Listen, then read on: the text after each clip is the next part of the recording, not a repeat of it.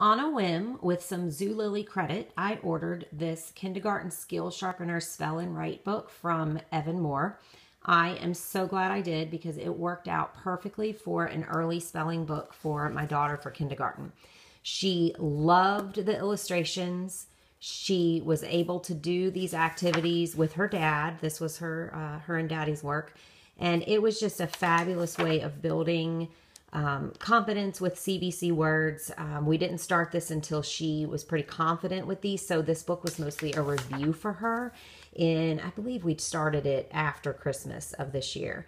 Um, you can just see some of the simple activities that she worked on. It has a little bit of basic grammar in it.